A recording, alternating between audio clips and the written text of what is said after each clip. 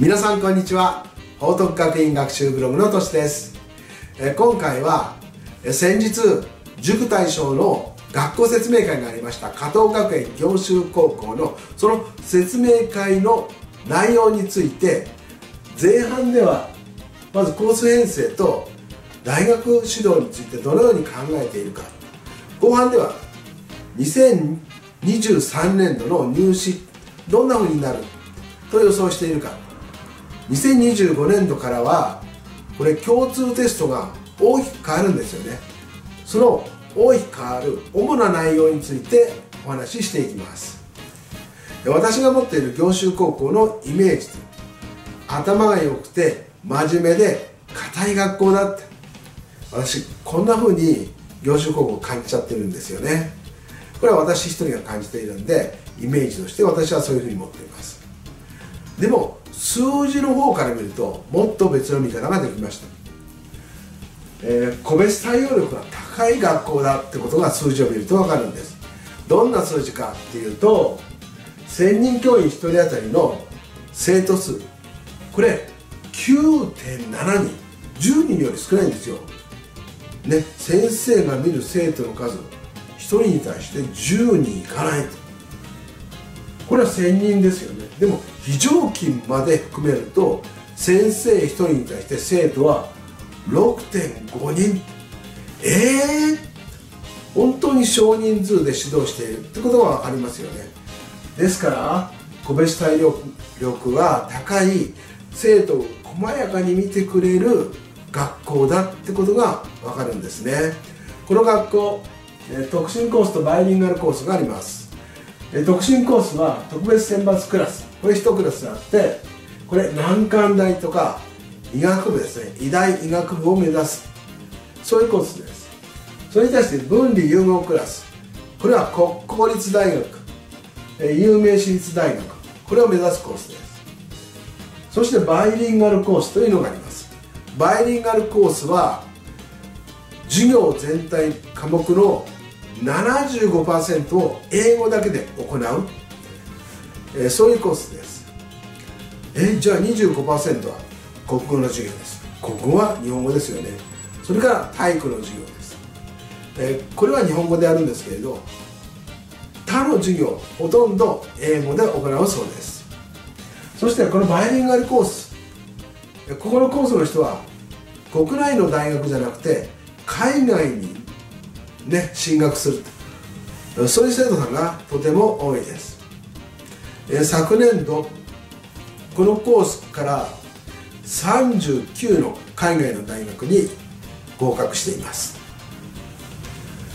そしてこれ普通科の学校ですから主なものは大学進学ですよね。その大学進学についてどのように考えているか。そういうお話も聞けました。大学受験の指導。これ多様化する大学受験に対応するために2年次まで全員が5教科。これを履修すると。このようにしているそのことによって生徒たちの進路の選択肢が広がると。こうおっしゃっていました。普通は高校1年から高校2年に上がる時ですね。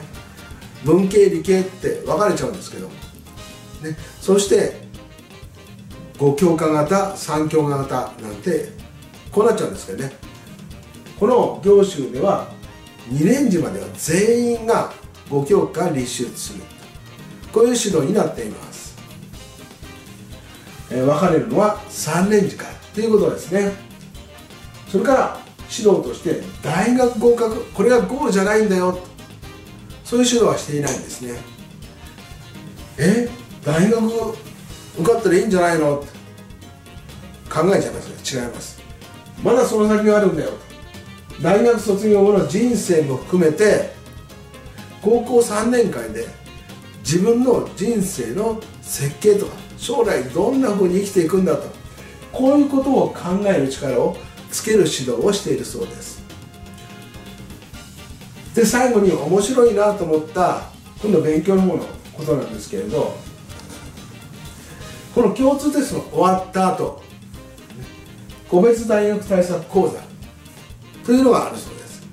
これは生徒が担当教師を指名して1対1で家庭教師のように教えてもらうね1対1で家庭教師に教えてもらうって。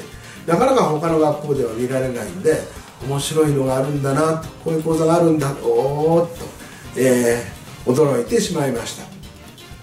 では次は2023年度の入試について業種高校どう考えているかというお話です。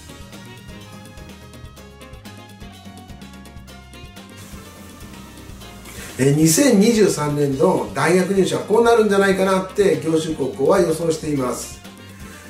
まず志願者数が減少していますよね。ですから倍率が低下している下がっている。合格者がたくさん出るんだろう。こう考えています。まあ世の中でよく言う誰でも大学に入れる時代が来たねちょっとそれとは違うんですけどね。えー、倍率が低下するから一般選抜に大きなチャンスが来ると。でもでもでもどこの大学を受けたいかっていうのはやはり思考がありますよね。それは変わらないんですね。国公立次第ともに難関大学。ね。どうしても難関大学を受けたいというこういう思考は相変わらず残っていると。だから難しい大学人気のある大学っていうのはやはり入るの難しいんですよね。しっかり勉強しなきゃいけないんです。だから誰でも入れるというのは大学を選ばなければという条件がつくんです。えそして大学入試共通テスト。これは前の年より難しくなるんじゃないか。このように予想していました。そして大きな変化が来るのは2025年度の大学入学共通テスト。これ変化するんですね。大きな変更点があります。一番の変更点は入試科目に情報。これが入って今までなかったものねその科目が入試に入ってくる。だからどんな問題が出るかって予想は立てにくい。どんなふうに勉強したらいいかっていうのも分かりづらい。ですから受験生にとってはちょっと負担ですね。ストレスになります。これが一番の変更点だと言っていました。それから国語の試験問題。これ80分から90分10分間増えます。理由は現代文が2台から3台に数が増えるということです。まあ大学入試の問題見れば分かりますけれど文章長いでしょ。だから文章を早く読むと。こういう練習をしっかりしておかないとなかなかいい点は取れないですよね。時間が足りないです。数学も時間が長くなります。試験時間が60分から70分になる。これは数学の丸2の方ですけど取材範囲が、ね、数2数 B 数 C と3つに増える。そういうことで時間が10分間増えていると考えます。で、この共通テストの変更後試験を受けるのは今の高校2年。それが大学を受験をする時だと教習の先生言ったんですけど私はちょっとあれ？言い間違いじゃないのかなって感じちゃったのは2025年度だったら今の高1からじゃないのかなと思ったんですよね。まあ業種の先生の言い間違いか私の勘違いかちょっとわからないんですけれど受験する人はこの部分はちょっと自分で調べてみてください。え今回は業種高校の塾対象説明会その内容についてちょっとお話ししました。今日も最後まで見ていただきどうもありがとうございました。ではまたお会いしましょう。さようなら。